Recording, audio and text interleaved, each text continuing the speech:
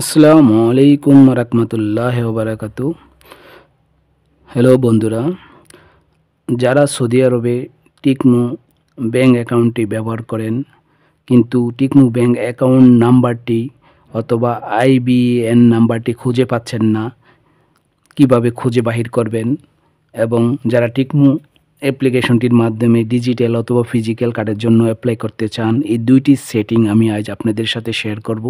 তাই যারা টিকমু অ্যাপ্লিকেশনটি প্রথম থেকে ব্যবহার করেন টিকমু অ্যাকাউন্টটি বার চেক করতে চান, এবং ফিজিক্যাল এবং ডিজিটাল কার্ডটি কীভাবে অ্যাপ্লাই করতে হয় জানতে চান, তারা অবশ্যই ভিডিওটি দেখবেন, তাহলে কিন্তু টিকমো অ্যাপ্লিকেশন মাধ্যমে আপনারা টিকমো অ্যাকাউন্টটি খুঁজে পাবেন এবং অ্যাপ্লাই করাও শিখে নিতে পারবেন। তাই চলুন কথা না আবার শুরু করা যাক। আমি কি করব প্রথমে? এই টিকমো অ্যাপ্লিকেশনটি ওপেন করে নিচ্ছি।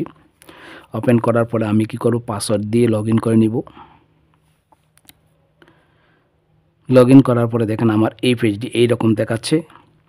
এইরকম দেখানোর পরে দেখেন এখানে কিন্তু আমার অ্যাকাউন্ট ব্যালেন্স জিরো দেখাচ্ছে, আর এখানে দেখাচ্ছে অ্যাড মানি এখানে দেখাচ্ছে অ্যাকাউন্ট ডিটেল অনেকে হয়তো বা ঠিক অ্যাকাউন্টটি খুঁজে পাচ্ছেন না। তারা কীভাবে খুঁজে বাহির করবেন দেখেন অ্যাকাউন্টটা ওপেন করার পরে আপনারা কী করবেন? অ্যাকাউন্ট ডিটেল এই অ্যাকাউন্ট ডিটেলের উপর ট্যাপ করে দিবেন। অ্যাকাউন্ট ডিটেলের উপরে ট্যাপ করে দেওয়ার পরে দেখেন, আপনারা কিন্তু এই টিকমু অ্যাকাউন্টটি এখানে পেয়ে যাবেন এসে তারপরে অ্যাকাউন্ট আইবিএন নাম্বার এটা হলো আইবিএন নাম্বারটি আপনারা এই নাম্বার দিয়ে অন্য ব্যাংক থেকে টাকা ট্রান্সফার করে নিতে পারবেন। অথবা আপনার অ্যাকাউন্টে যদি কেউ টাকা পাঠায়, তাহলে আপনারা কিন্তু এই অ্যাকাউন্ট নাম্বারটি তাকে দিবেন। এইভাবে আপনারা কিন্তু এই আইবেন নাম্বারটি খুঁজে নেবেন। আবার যদি ব্রেক এখানে ট্যাপ করে দেন, তাহলে কিন্তু আবার দেখেন, আমি এখানে ট্যাপ করে দেওয়ার পর আবার এই পেজটিতে নিয়ে আসলো।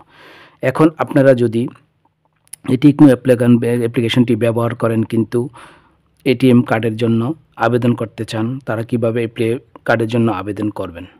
তার জন্য আপনাকে কি করতে হবে? দেখেন, আমি দেখাচ্ছি আপনাদেরকে।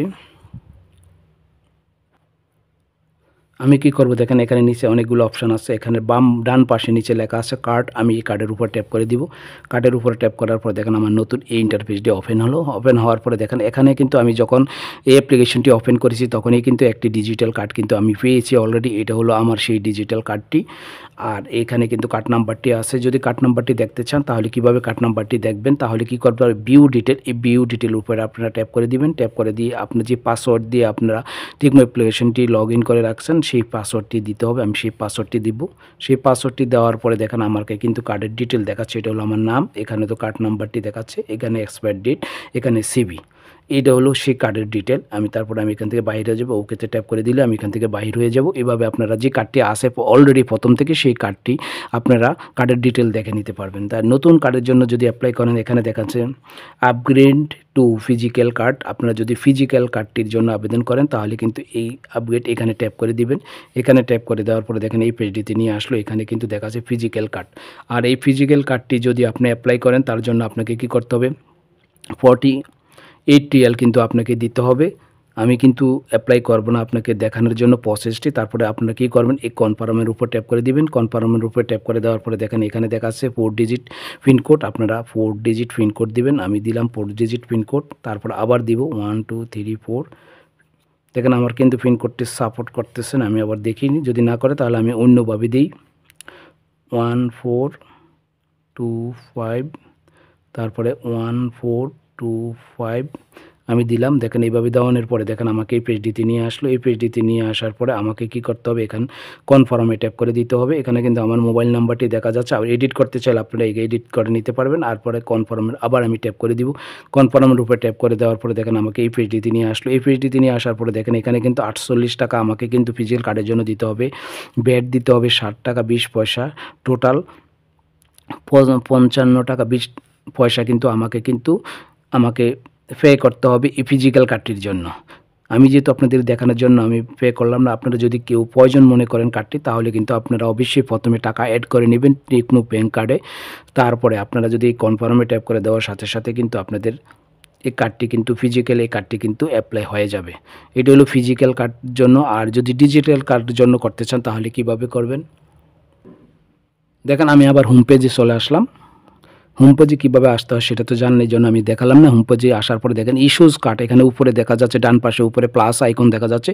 এই প্লাস আইকনের উপর আমি আবার ট্যাপ করে দিব। ট্যাপ করার পরে দেখেন, আমাকে এই পেজটিতে নিয়ে আসলো। এই পেজটিতে নিয়ে আসার পরে দেখেন, এখানে দেখা যাচ্ছে সয়েজ ইউর কার্ড আমি সয়েজ ইউর কার্ডের উপর ট্যাপ করে দিব। ট্যাপ করার পরে দেখেন, এখানে ডিজিটাল কার্ড এই কার্ডটি আপনারা যদি অ্যাপ্লাই করেন, তার জন্য আপনাকে কিন্তু পে করতে হবে পনেরো রিয়াল আর যেহেতু এই কার্ডটা আপনারা হাতে পাবেন না, এটা শুধু মোবাইলে ব্যবহার করতে পারবেন, তারপর আমি কী করব কনফার্মের উপর ট্যাপ করে দিব। কনফার্মের উপর ট্যাপ করার পরে এরকম দেখাবে, দেখার পরে এখানে এগ্রি এগ্রিতে ট্যাপ করে দিব।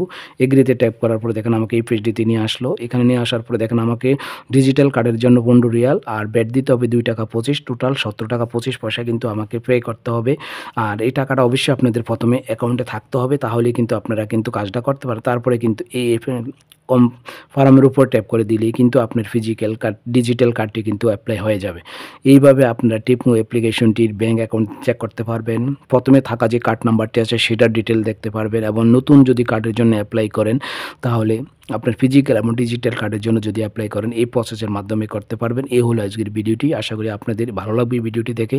যদি ভালো লাগে, তাহলে অবশ্যই আমার চ্যানেলটিকে একটি লাইক করবেন এবং যদি সাবস্ক্রাইব না করে থাকেন, তাহলে অবশ্যই সাবস্ক্রাইব করবেন এবং পাশে থাকা নোটিফিকেশনটি বাজিয়ে দিবেন, যাতে আমি যখনই নতুন নতুন হেল্পফুল ভিডিও আপলোড করব, সাথে সাথে আপনারা নোটিফিকেশন পেয়ে যাবেন। ওকে, আল্লাহ হাফেজ, ভালো থাকবেন।